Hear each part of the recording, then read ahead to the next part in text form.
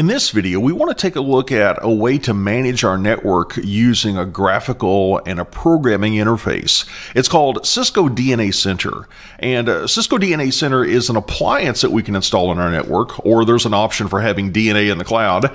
But this is going to give us a graphical interface and a programming interface to design our network, to add devices, configure devices on the network, monitor, troubleshoot our network.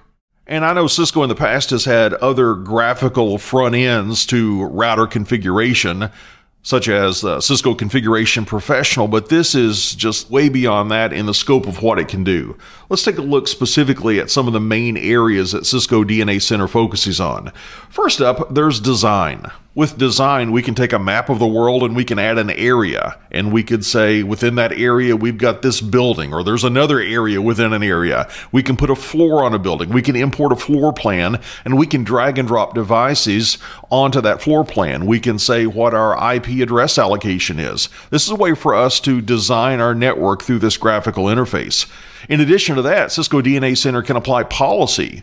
We can assign policies to an entire group, maybe allowing or denying them access to something. We could do IP based access control. And one of my favorites is quality of service. We can set up a queuing profile to say what bandwidth amounts are given to different applications.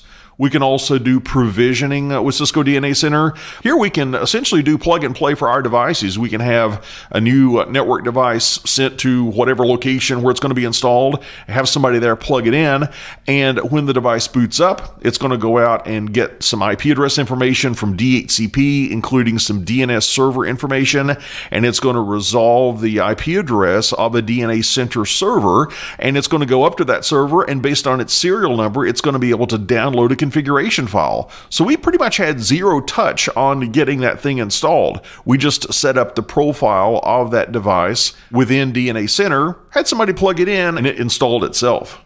Another big part of Cisco DNA Center is assurance, and this is where we can monitor the health of the network. This is going to help us with troubleshooting. If there are existing faults, we can see what those are, and based on experience of Cisco TAC, Cisco DNA Center is going to give us feedback about what we should do to try to resolve this issue.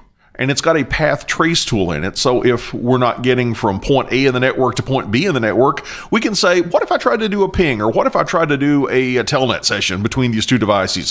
What would happen? Let's say there's an access control list in the way that might be blocking that traffic. Well, it's going to give us a graphical representation of the network and show us exactly where that ACL lives that's blocking our traffic. We can also do something called network time travel. So if there were some sort of an issue that came up at 2 a.m. last night, we could go back in time and see what was going on in the network at that time. And one of the most powerful things about Cisco DNA Center is its ability to act as a programming platform. We have a large collection of APIs, application programming interfaces, that will allow us to do via a program what we could do graphically. If we want to provision or set a policy or gather troubleshooting information, we could do that with a Python script, for example, using some of these APIs.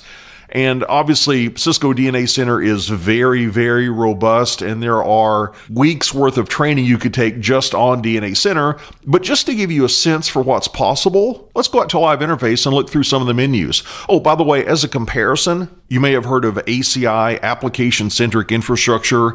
That's Cisco's management platform for data centers. Well, think of DNA Center as Cisco's platform for managing enterprise networks. Again, think ACI for the data center and think DNA Center for the enterprise. Now, let's take a look at DNA Center. We'll go ahead and get logged in. And here we see those things we were talking about a moment ago design, policy, provision, assurance platform. And those are our menu options up at the top as well. For example, I could go under design and we could pick an area of the world, maybe under US, for example. I could go in and I could add an area, perhaps I'd add an area for Kentucky where I'm located. We'll add that. Then I can add an area under Kentucky. And we could say that's Richmond. And within Richmond, I could say I want to add a building. So we'll say we've got the headquarters of Kevin Wallace Training, KWT. And it wants me to put in a specific longitude and latitude here, so I'll just guess at what that is. And I could import a floor plan, and I could also set up policy. I could set up IP based access control for my access control lists. One of my favorite things, though, is under application, I could do a queuing profile. I could say I want to add a profile, and for different applications, I could say, how much bandwidth do I want to give those different applications? Under provisioning, I could go in and set up a device to be installed to the network using that plug and play operation like we talked about earlier. I could say I want to add a device. Under assurance, this is where we can do our troubleshooting. This is where we can monitor the health of the network. And if there are outstanding issues, we could see those issues and get some suggestions for what we should do to fix those issues. And we could go back in time using that network time travel to see what was happening in the past.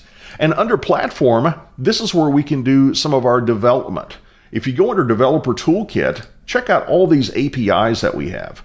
Let's say under know your network, we could have an API to go out and get a list of devices on the network under site management, we could set up plug and play under operational tools. We could do the path trace that we were talking about. And obviously, this is a super high level 30,000 foot view of Cisco DNA Center. But the purpose of this video was just to help you understand what DNA Center is. It's Cisco's management solution for the enterprise and to understand some of the things it can do. And those things fall under these categories design, policy, provision, assurance, and platform.